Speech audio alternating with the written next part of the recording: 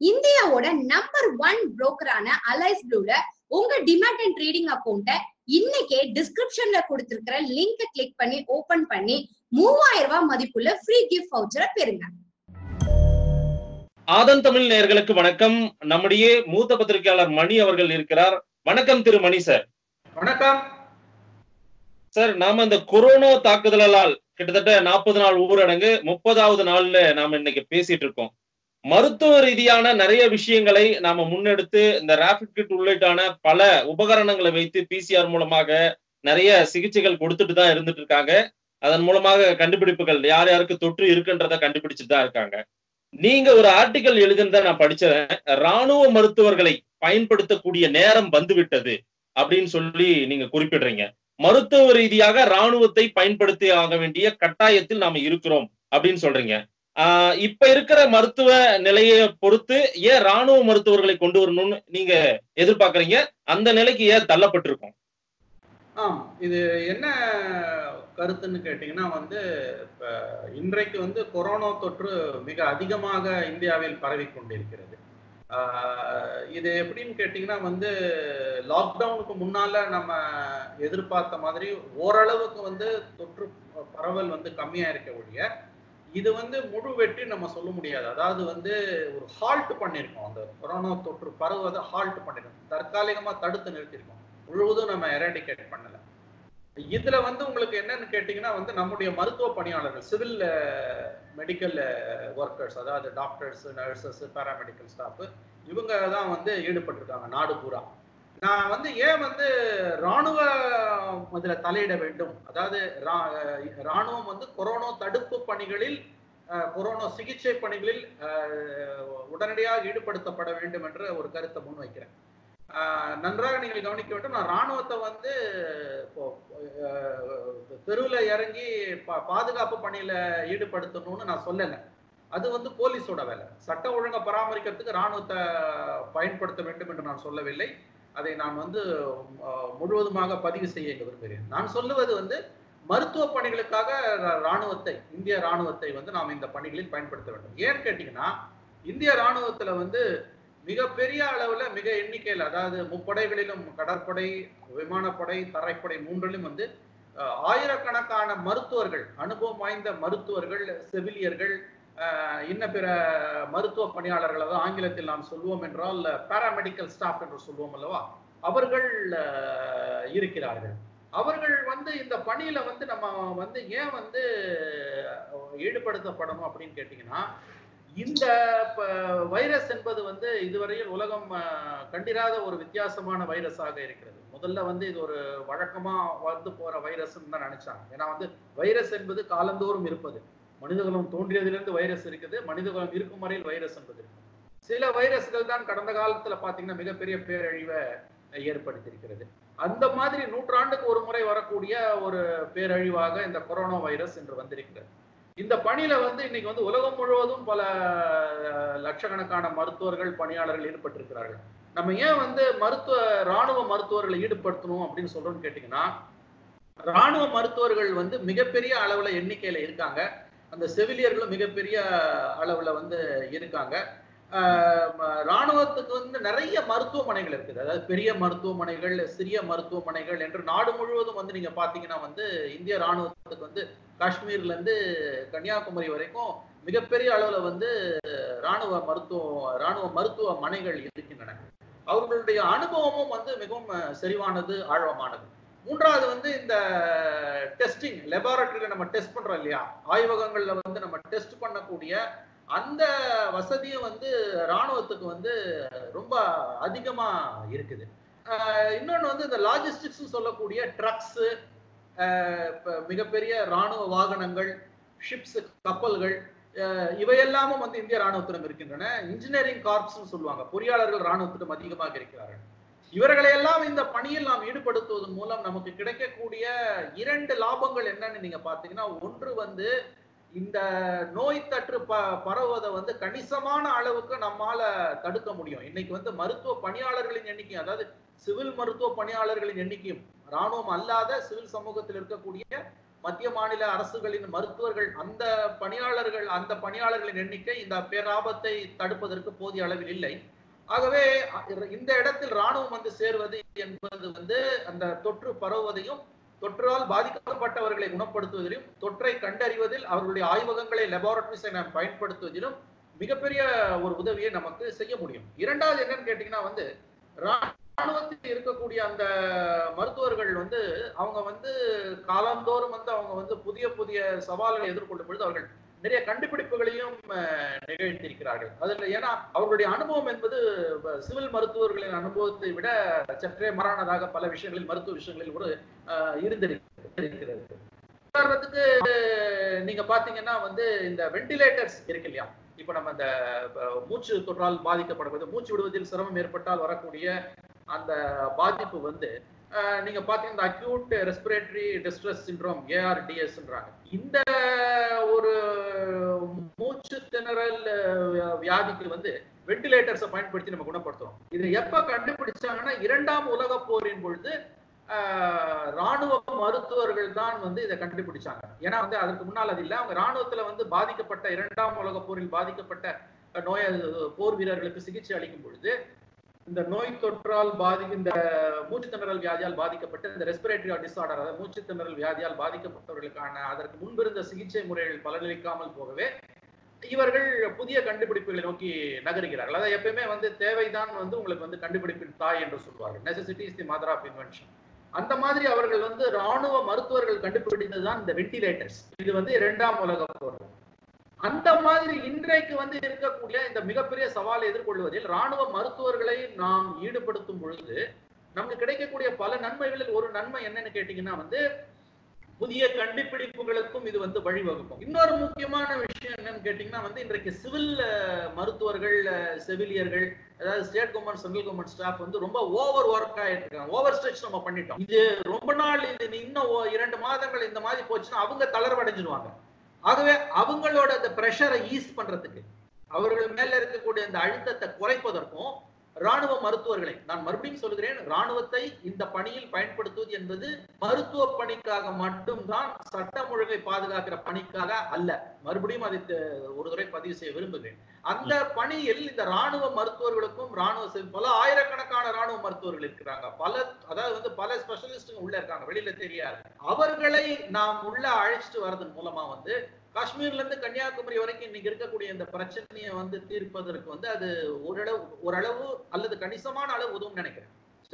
உலகமே கொரோனாவால் பாதிக்கப்பட்டிருக்க மணி சார். உலகமே பாதிக்கப்பட்டிருக்கிற சூழ்நிலையில வேற எந்தெந்த நாடுகள் இந்த மாதிரி ராணுவ மருத்துவர்களை பயன்படுத்தி இருக்காங்க பயன்படுத்தி இதன் மூலமா வெற்றி கண்டிருக்கிறதா நீங்க பார்த்திருக்கீங்க? க- அதன் மூலமா ஏதாவது தரவு இருக்கா சார்?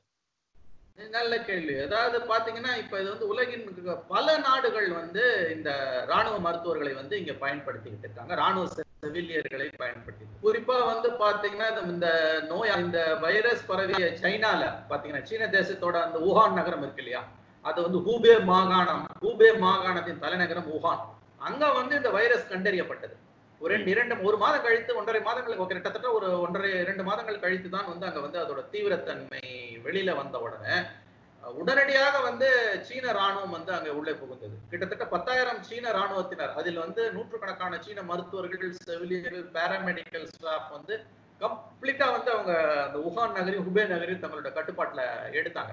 நீங்கள் கேள்விப்பட்டிருப்பீர்கள் பத்து நாட்களில் ஒரு மருத்துவமனையை கட்டமைத்தார்கள் கட்டி முடித்தார்கள். இதெல்லாம் வந்து அந்த சீன ராணுவத்தை சார்ந்த அந்த இன்ஜினியரிங் டிவிஷன் நம்ம ஊர்ல சொல்றோம் இல்லையா நம்ம அந்த இன்ஜினியரிங் காப்ஸ் சொல்றோமே அந்த மாதிரியான அந்த சீன பொறியாளர்கள் கட்டமைத்த அந்த மருத்துவமனைகளை கட்டினார்கள். மருத்துவர்களை பொறுத்தவரையும் பிஎல்ஏ என்று சொல்லக்கூடிய சீன பீப்புள்ஸ் லிபரேஷன் ஆர்மி சீன மக்கள் ராணுவம் இருக்கு இல்லையா?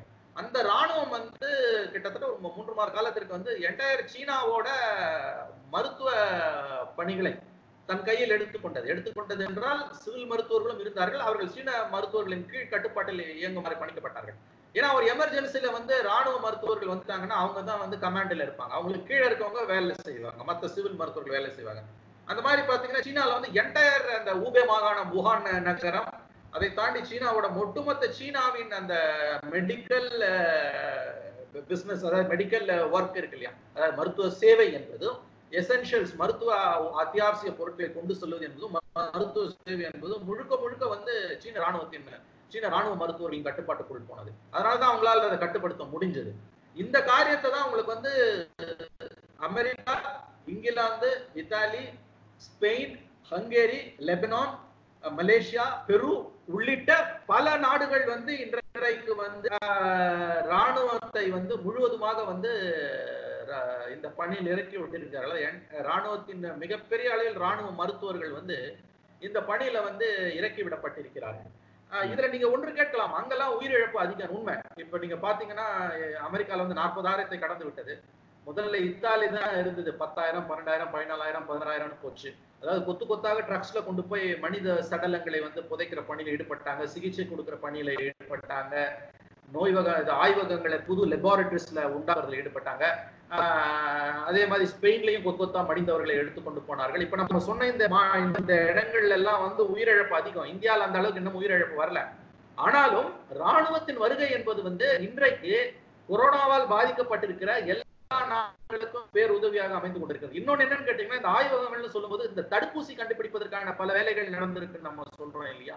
இந்த பல பேர் வந்து இன்னைக்கு வந்து பல தனியார் அமைப்புகளும் மருத்துவ ஆய்வகங்களும் அரசு ஆய்வகங்களும் இந்த கொரோனா தொற்றுக்கு எதிரான அந்த வேக்சின் தடுப்பூசியை கண்டுபிடிப்பதில் ஈடுபட்டு அதுல வந்து ராணுவ ஆய்வகங்களும் உலகின் பல நாடுகளிலும் வந்து இந்த வேக்சின் கண்டுபிடிக்கிறதுல வந்து ஈடுபட்டிருக்காங்க. இந்திய ராணுவத்திலும் வந்து அந்த ஆய்வகங்கள்ல வந்து இந்த பணிகள் வந்து முடுக்கி விடப்பட்டிருப்பதா சொல்றாங்க. அதுவே நீங்க இப்ப இப்படி எடுத்துக்கலாம். நீங்க நீங்க பாத்தீங்கன்னா உங்களுக்கு தெரியும். மும்பை நகரோட தாராவி இருக்கு இல்லையா? தாராவில இன்னைக்கு எந்த அளவுக்கு பரவி வருதுன்னு உங்களுக்கு தெரியும். இன்னைக்கு வந்து கையை மீறி போயிட்டு இருக்கு தாராவில வந்து கட்டுப்படுத்த முடியாத லெவலுக்கு போயிட்டு இருக்கு ஏன்னு கேட்டீங்கன்னா வந்து தாராவியில வந்து மூணு ஸ்கொயர் கிலோமீட்டர்ஸ்ல கிட்டத்தட்ட எட்டு லட்சம் மக்கள் வசிக்கிறாங்க.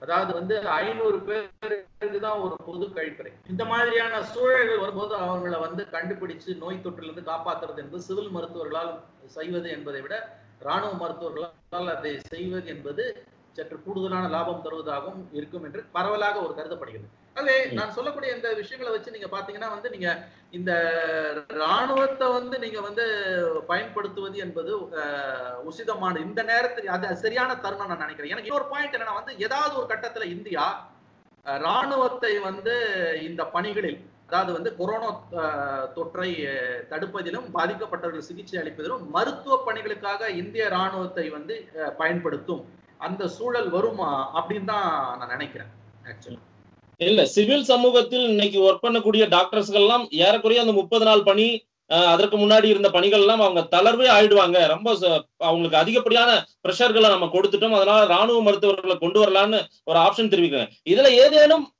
பாதகங்களும் இருக்கும் இல்ல சார்? ஏன்னா ஏற்கனவே இவங்களை இப்ப பணியாற்றும் இந்த சிவில் சமூக மருத்துவர்களை நம்ம குறைச்சு மதிப்பிடுற மாதிரி பாத்திர முடியாதா? அவங்களை அழைக்கிற இல்ல அந்த அந்த நிலை வராது. நிச்சயமாக அந்த நிலை வராது. சிவில் மருத்துவர்களோட பணியை குறைத்து மதிப்பிடுவதாகவோ பிரஸ்டீஜை குறைச்சு மதிப்பிடுறதாவோ ஆகாது. இன்னும் சொல்ல போனீங்கன்னா சொல்ல போனீங்கன்னா ராணுவ மருத்துவர்கள் வந்து உள்ளே வருவது என்பதும் ராணுவம் வந்து பெரிய அளவில் இதில் பங்காற்ற ஆரம்பிப்பது என்பது அதாவது நீங்க நாடு பூரா இல்லாட்டியும் அட்லீஸ்ட் பெரிய அளவுல பாதிக்கப்பட்ட இடங்கள்ல வந்து ராணுவம் வந்து கொரோனா தடுப்பு பணியில் ஈடுபடுத்தப்பட வேண்டும் என்பது என்னுடைய கருத்து. நாடு முழுதும் நீங்க செய்ய வேணாம். பெரிய அளவுல பாதிக்கப்பட்டிருக்கக்கூடிய ஃபார் எக்ஸாம்பிள் மகாராஷ்டிரா. இப்ப நம்ம தாராவி சொன்னோம். குஜராத். குஜராத்ல பாத்தீங்கன்னா பிஎஸ்எஃப் வந்து பார்டர் செக்யூரிட்டி போர்ஸ் எல்லை பாதுகாப்பட படை என்பது அகமதாபாத்ல ரோட்ல வந்து இந்த லாண்ட் ஆர்டர் மெயின்டைன் பண்றான். அதாவது எவனாவது லாக்டவுனை மீறி வந்தாலும் அவனை அடிக்கிறது அந்த மாதிரி வேலையில இருக்காங்க. ஆக்சுவல்ல மெடிக்கல் ஒர்க்ல வந்து ஈடுபடுத்தப்படல. இதுல வந்து ராணுவ மருத்துவர்கள் இந்த பணியில் ஈடுபடுத்தப்படும் பொழுது நிச்சயமா அதுல வந்து சிவில் மருத்துவர்களுக்கும் அவர்களுக்கும் எந்த விதமான ஈகோ பிரச்சனையோ அல்லது மற்ற பிரச்சனைகளோ வராது. அந்த பிரச்சனை சொல்ல வருகிறேன். அந்த சிக்கல் வரதுக்கு வாய்ப்பு இல்லை ஆனா வேற ஒரு பிரச்சனைக்கு வாய்ப்பு இருக்காது. என்னன்னு கேட்டீங்கன்னா நீங்க ராணுவ மருத்துவரை பெரிய அளவுல கொண்டு வரும் பொழுது ஆஹ், நாட்டின் பாதுகாப்பில் வந்து காம்ப்ரமைஸ் பண்ணக்கூடிய வாய்ப்பு வருமா? அதாவது வந்து ராணுவ மருத்துவர்கள் மிகப்பெரிய அளவில் இங்க வர இந்த பணிகளுக்கு ஈடுபடுத்தப்படுகிறார்கள் என்று வைத்துக் கொள்ளுங்கள். ஒரு உதாரணத்துக்கு இதுவரை இந்திய அரசு அந்த முடிவை எடுக்கல. ஒருவேளை ராணுவம் இந்த பணிக்கு வருகிறது என்றால் ராணுவ மருத்துவர்கள் செவிலியர்கள் மிகப்பெரிய அளவுக்கு வராங்கன்னா அவர்களோடு சேர்ந்து அந்த லாஜிஸ்டிக்ஸும் வரும். அதுல வந்து மருத்துவ பணியாளர்கள் அல்லாத சிலரும் நம்ம அவங்க அந்த பணியில வருவாங்க ராணுவத்தோட வருவாங்க. அப்ப அது எல்லைகளை காத்து நிற்கக்கூடிய நம்முடைய நமக்கு இந்தியாவுக்கு வந்து பாகிஸ்தானோட எல்லையில பிரச்சனை இருக்கு சீனாவோட பிரச்சனை இருக்குது. இந்த மாதிரியான இடத்துல வந்து அது பாதுகாப்பா காம்ப்ரமைஸ் பண்ணுமா? அப்படின்ற அந்த ஒரு கொஸ்டின் இருக்குது. ரெண்டாவது வந்து இந்த வரக்கூடிய ராணுவ மருத்துவர்கள் பெரும்பாலும் ராணுவ மருத்துவர்கள் நான் மெடிக்கல் ஸ்டாஃபும் கொஞ்சம் பேர் வருவாங்கன்னு நான் சொன்னேன் அவங்களுக்கு அவர்களுக்கு இந்த தொற்று வரக்கூடிய ஆபத்து இருக்கிறதா என்றால் இருக்கிறது. அதற்கு அதற்கு அதற்கான ஆபத்து அதற்கான சாத்தியக்கூறு இருக்கிறது. இப்ப உதாரணத்துக்கு நீங்க அமெரிக்கால பாத்தீங்கன்னா கிட்டத்தட்ட நூத்தி முப்பத்தி மூணு சோல்ஜர்ஸ் வந்து இந்த மாதிரி வந்து நேரடியா இந்த பணியில ஈடுபடுத்தப்பட்டவர்கள் கொரோனா தடுப்பு பணியில் ஈடுபடுத்தப்பட்டு கொரோனாவுக்கு சிகிச்சை அளிக்கும் பணியில் ஈடுபடுத்தப்பட்ட அமெரிக்க ராணுவத்தை சேர்ந்த ராணுவ வீரர்கள் அதில் மருத்துவர்கள் செவிலியர்கள் பேராமெடிக்கல் ஸ்டாஃப் மெடிக்கல் ஸ்டாஃப் அல்லாத ராணுவ வீரர்கள் என்று ஒட்டுமொத்தமா அதுல பெரும்பாலானவர்கள் டாக்டர்ஸ் நூத்தி முப்பத்தி மூணு பேர் வந்து பாதிக்கப்பட்டிருக்காங்க. இந்த இந்த ஈரான்ல பாத்தீங்கன்னா ஈரானோட அந்த ரெவல்யூஷனரி கார்டுன்னு சொல்லுவாங்க. ரெவல்யூஷனரி கார்டு குரூப் அவங்கள பலர் வந்து இதுல வந்து பாதிக்கப்பட்டிருக்காங்க. இந்த ஒரு சாத்தியக்கூறு என்பது வந்து நம்ம ராணுவத்தை வந்து இந்த பணியில ஈடுபடுத்தும் பொழுது இருக்குது. இப்ப அதுக்குதான் என்ன ஒரு வழி சொல்றாங்கன்னா நீங்க எல்லாரையுமே வந்து இப்ப இந்திய ராணுவத்துல வந்து மிகப்பெரிய அளவுல வந்து இந்திய ராணுவத்துல வந்து தரைப்படையின் எண்ணிக்கை என்பது பத்து லட்சம் பேருக்கு மேல இருக்குது. உங்களுக்கு வந்து கடற்படை ராணுவ விமானப்படை எல்லாம் சேர்ந்தால் பதினைந்து லட்சம் பேருக்கு மேல வரையான சொல்லக்கூட ஃபிகர்ஸ் கொஞ்சம் கூட கூட இருக்கு. இதுல நீங்க வந்து மொத்தமா கொண்டு வந்து எல்லாரையும் போட வேண்டிய அவசியம் இல்லை. ஒரு ஒரு குறிப்பிட்ட சதவீதத்தினரை அதாவது வந்து ராணுவம் வந்து திடீரென்று தாக்குதல்கள் எல்லைப்புறத்தில் வந்தாலும் கூட இந்தியாவால் அதை காப்பாற்றிக் கொள்ள முடியும் என்கின்ற நிலையில் ஒரு பரீட்சார்த்த முறையிலாவது ஒரு ஒரு ஒரு ஒரு ஒரு குரூப் ஒரு சில நூறு மருத்துவர்களை அல்லது சில ஆயிரம் மருத்துவர்களை வந்து இந்த பணியில் ஈடுபடுத்தலாம். அதற்கு வந்து சாத்தியக்கூறுகள் இருக்கிறது. அதை செய்ய வேண்டும் என்பதுதான் என்னுடைய கருத்து. ஏன்னு கேட்டீங்கன்னா அது வந்து நாட்டோட பாதுகாப்பையும் நம்ம ஒரு பக்கம் பேலன்ஸ் பண்ணணும். இன்னொரு பக்கம் அதே நேரத்துல இவங்க வெறுமனே பேரக்ஸ்ல மட்டுமே இல்லாம நாடு இவ்வளவு பெரிய சிக்கலை சந்திக்கும் பொழுது இந்த ராணுவம் வந்து அதை வந்து ராணுவத்தின் வேலை என்பது எல்லைக்கு எல்லைகளை காப்பாற்றி எதிரிகளிடமிருந்து நாட்டை காப்பாற்றுவது மட்டுமல்ல. அந்த தா- அந்த நாட்டின் அந்தந்த ராணுவம் அந்தந்த நாட்டின் உள்நாட்டு பிரச்சனைகள்ல அல்லது வந்து நாட்டுக்கு உள்ள வந்து ஒரு மிகப்பெரிய ஒரு பேரிடர் வருதுன்னு வச்சுக்கோங்களேன். அங்க வந்து உங்களுக்கு வந்து அதுல பணியாற்றக்கூடிய ஒரு வல்லமையும் வந்து கடமையும் வந்து ராணுவத்துக்கு இருக்கு. இரண்டாவது வந்து என்னன்னு கேட்டீங்கன்னா ஒன்று வந்து நம்ம கணிசமான அளவு எடுக்க வேணாம். ஒரு குறிப்பிட்ட சதவீதத்தினர் பணியில் இருக்கக்கூடிய ராணுவ மருத்துவர்கள் இருக்கலாம். இன்னொன்னு ராணுவத்துல வந்து ஒரு ராணுவ சட்டங்களின்படி அஹ், ஓய்வு பெற்ற இரண்டு ஆண்டுகளுக்குள் ஓய்வு பெற்றவர்களை திரும்ப பணிக்கு அழைக்கக்கூடிய ஒரு அதிகாரம் அரசுக்கு இருக்கு. இந்த மாதிரி இப்ப ரெண்டு ஆண்டுகளுக்குள்ள ஓய்வு பெற்ற ராணுவ மருத்துவர்கள் இருப்பாங்க. ராணுவ செவிலியர்கள் இருப்பாங்க.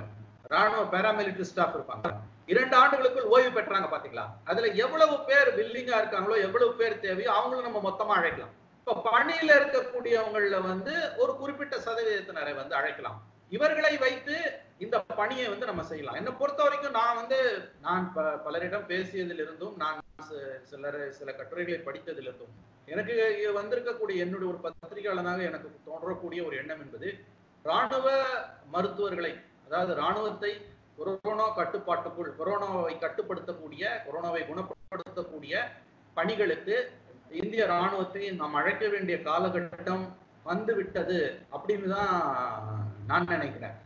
எக்கானமிஸ்ட் உலகின் நம்பர் ஒன் பத்திரிகையான எக்கானமிஸ்ட் வந்து கடந்த மூன்று நான்கு வாரங்களுக்கு முன்பு இதை பத்தி ரொம்ப விரிவாக எழுதிய கட்டுரையில ராணுவ மருத்துவர்களின் உதவி இல்லாமல் அதாவது ராணுவத்தோட உதவி இல்லாம இந்த நோய் தொற்றை அதிகமாக சந்தித்திருக்கக்கூடிய நாடுகள் அது அமெரிக்கா போன்ற வளர்ந்த நாடுகளாக இருந்தாலும் இந்தியா போன்ற வளரும் நாடுகளாக இருந்தாலும் அவர்களால் சமாளிக்க முடியாது என்ற ஒரு கட்டுரை அது வந்து எழுதியிருக்கு. இன்னொன்னு என்னன்னு கேட்டீங்கன்னா வந்து நம்முடைய கப்பற்படையை வந்து நீங்க வந்து கப்பல்களை போர் கப்பல்களை வந்து டெம்பரரி ஹாஸ்பிட்டலா மாத்திடலாம். அமெரிக்கால பாத்தீங்கன்னா லாஸ் ஏஞ்சலஸ் நகரிலையும் நியூயார்க்லயும் ரெண்டு போர் கப்பல்கள் வந்து கொரோனாவுக்காக மட்டுமே கொரோனா நோயாளிகளை சிகிச்சை கொடுப்பதற்காக மட்டுமே ரெண்டுமே வந்து தலா அறுநூறு பெட் இருக்கக்கூடிய ஹாஸ்பிட்டல்ஸ் ரெண்டுமே ஷிப்ஸ் நேவல் ஷிப்ஸ் கடற்படை கப்பல்கள். அவற்றை வந்து மருத்துவமனைகளா மாத்திருக்காங்க. ஆகவே இந்த பின்புலத்தில் பார்க்கும் பொழுது இப்போ நான் சொல்ல அத்தனை விஷயங்களையும் வைத்து நீங்கள் பார்க்கும் பொழுது இந்திய ராணுவத்தை கொரோனா தடுப்பு நடவடிக்கைகளுக்காக அழைக்க வேண்டிய காலகட்டம் வந்துடுச்சு நான் நினைக்கிறேன். இன்னொன்னு இந்த சோஷியல் டிஸ்டன்ஸ் ஒரு இன்ட்ரெஸ்டிங்கான ஒரு விஷயம் என்னன்னு கேட்டீங்கன்னா வந்து இந்த சோஷியல் டிஸ்டன்ஸ் நம்ம பேசுறோம் இல்லையா? அது வந்து இன்னைக்கு ராணுவத்தோட அந்த தினசரி பயிற்சிகளையே வந்து பாதித்திருக்கிறது. தினமும் வந்து காலையில உங்களுக்கு தெரியும் முந்நூறு சோல்ஜர்ஸ் நானூறு சோல்ஜர்ஸ் நிலைமை இடத்துக்கு ஏத்த மாதிரி வந்து அது நூறு சோல்ஜர்ஸா இருக்கலாம் இல்ல ஐநூறு சோல்ஜர்ஸா இருக்கலாம். குரூப்ஸ்ல வந்து தினமும் பயிற்சி பண்ணுவாங்க. மார்னிங் மார்னிங் பெரேட்ஸ் நடக்கும் ட்ரில் நடக்கும். அதெல்லாம் இன்றைக்கு வந்து கணிசமாக வந்து நிறுத்தப்பட்டிருக்கு. என்னன்னா இந்த ஜாயின்ஸ் கூட்டு பயிற்சி. இந்தியாவும் கொரிய ராணுவம் கூட்டு பயிற்சி நடத்தும். இந்தியாவும் அமெரிக்க ராணுவமும் அடிக்கடி கூட்டு பயிற்சிகளை நடத்தும். இன்னைக்கு இந்தியா சில நாடுகளும் நடத்த இருந்த கூட்டு பயிற்சி தான் உலகின் பல நாடுகள் பல நாடுகளோடு நடத்த இருந்த கூட்டு பயிற்சிகள் நார்வே போன்ற நாடுகள் அமெரிக்காவோடு நடத்த இருந்த அந்த கூட்டு ராணுவ பயிற்சிகள் எல்லாமே நிறுத்தப்பட்டிருக்கு. ஏன்னு கேட்டீங்கன்னா எங்கெல்லாம் மனிதர்கள் கூடுகிறார்களோ அங்கெல்லாம் இந்த வியாதி கூட்டமாக கூடுவது என்பது தெருவில் நாலு பேர் கூட்டினா அது நூத்தி நாற்பத்தி நாலு தடை. ஆனா அதே ராணுவத்துல நூறு பேர் ஐநூறு பேரோ தினமும் அந்த பயிற்சி பண்றாங்கன்னா அந்த டெய்லி மார்னிங் ட்ரில் அது ஸ்டாப் அப்புறம் இந்த ஜாயிண்ட் எக்ஸசைஸ் சொல்லக்கூடிய ஆயிரக்கணக்கான அல்லது நூற்றுக்கணக்கான ராணுவ வீரர்கள் கடற்படை வீரர்கள் ஒன்றாக பயிற்சி மேற்கொள்வார்கள். நீங்க பார்த்திருப்பீங்க. அது எல்லாமே தடுத்து நிறுத்தப்பட்டிருக்கிறது. அது கொரோனா என்பது மனித குலத்தின் அனைத்து தரப்பு மக்களையும் பாதித்திருக்க சூழலில் ராணுவத்தையும் அது எப்படி பாதித்திருக்கிறது என்பதை கவனத்தில் கொள்ள வேண்டும்.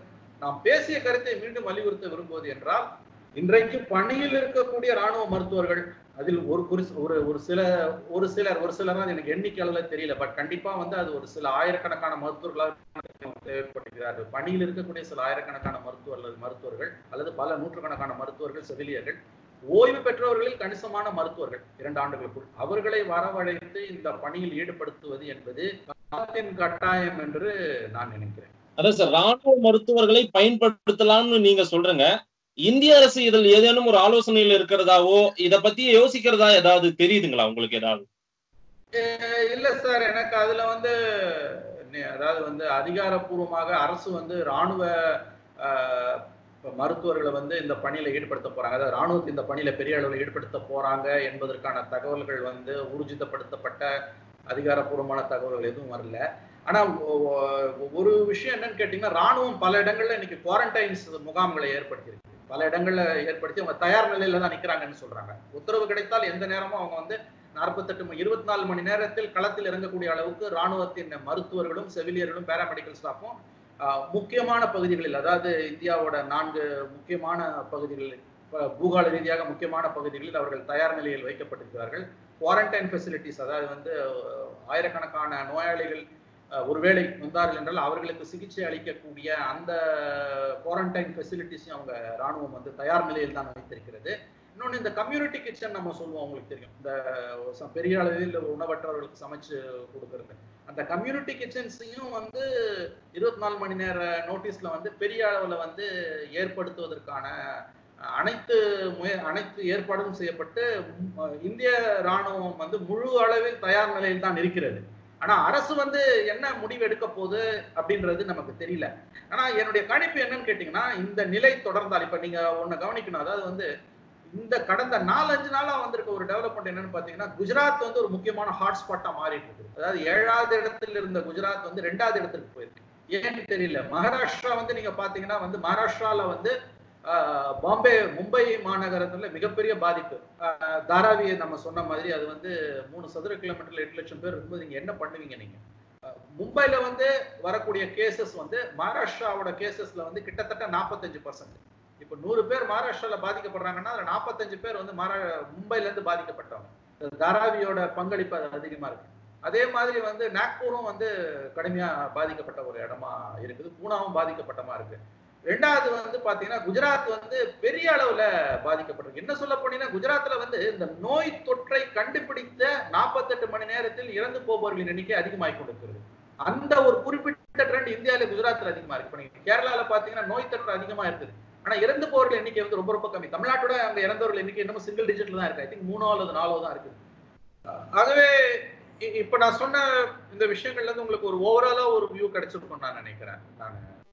இது வந்து என்னன்னு கேட்டீங்கன்னா நம்ம இது வந்து ஒரு நூற்றாண்டுக்கு ஒரு முறை வரக்கூடிய ஒரு மிகப்பெரிய ஒரு ஒரு- ஒரு பேரழிவு இது. ஆஹ், சர்வதேச சமூகமே கலங்கி நின்று கொண்டிருக்கிறது. ஆஹ், எனக்கு என்ன தோணுதுன்னா வந்து அட் சம் ஸ்டேஜ் ஏதாவது ஒரு கட்டத்துல வந்து ராணுவத்தின் உதவியை ராணுவ மருத்துவர்களின் உதவியை நாட வேண்டிய சூழல் இந்திய அரசு கண்டிப்பா வரும் நான் நினைக்கிறேன். நம்ம பேசுனது போல வந்து குஜராத் வந்து ஒரு ஹாட்ஸ்பாட்டா உருவாகி கொண்டிருப்பது என்பது இன்று ஒரு கவலை தரக்கூடிய விஷயம். மகாராஷ்டிரா வந்து நம்ம பார்த்தோம் தாராவி மும்பை வந்து உங்களுக்கு வந்து மகாராஷ்டிராவில் வரக்கூடிய கேசஸ்ல ஃபார்ட்டி ஃபைவ் பர்சன்ட் வந்து மும்பைல இருந்து வருது. மும்பை நகரமும் புனே நாக்பூரும் ஹாட்ஸ்பாட்ஸா வந்துகிட்டே இருக்குது. ஆகவே வந்து மகாராஷ்டிரா குஜராத் தமிழ்நாடு போன்ற மாநிலங்கள்ல இந்த நோய் தொற்று வந்து மிக வேகமாக இருப்பது என்பது அடுத்த பத்து நாட்களுக்குள் அந்த அந்த கருவு பிளாட்டன் ஆகலைன்னா அந்த நோய் தொற்று குறையலன்னா கண்டிப்பாக ராணுவத்தை கொரோனா தடுப்பு நடவடிக்கைகளில் ஈடுபடுத்தக்கூடிய ஒரு நிர்பந்தம் இந்திய அரசுக்கு வரும் என்று நான் நினைக்கிறேன். இந்திய ராணுவத்தை பொறுத்தவரையில் எல்லா சூழல்களையும் சமாளிக்கக்கூடிய தயார் நிலையில்தான் ராணுவம் இருக்கிறது. இராணுவ மருத்துவர்களும் செவிலியர்களும் இருக்கிறார்கள் என்று நான் நினைக்கிறேன். சார் மருத்துவ ரீதியாக ராணுவத்தை பயன்படுத்த வேண்டிய நிலை சரியான நேரம் சரியான தருணம் இப்ப செய்யலாம்னு சொல்றீங்க. ஆனா சட்டம் ஒழுங்கு ரீதியா ராணுவத்தை பயன்படுத்த வேண்டிய அவசியம் எல்லாம் ஏற்படாது. மக்கள் ஊரடங்கு ஒத்துழைப்பு இந்த அளவுக்கு முப்பது நாள் கொடுத்துட்டு தான் இருக்காங்க.